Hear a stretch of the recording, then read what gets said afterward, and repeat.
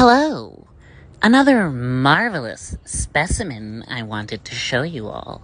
Here is Lophophora fricii, a most beautiful, non-active form of Lophophora. Here I'm just showing you these plants that have developed and rooted in culture as fully developed plantlets. At this stage, they could easily be moved out into the soil and acclimated.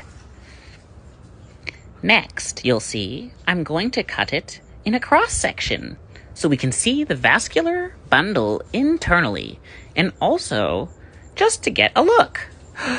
wow. As you can see, the center of this cactus is the true meristem, and from there, everything emerges.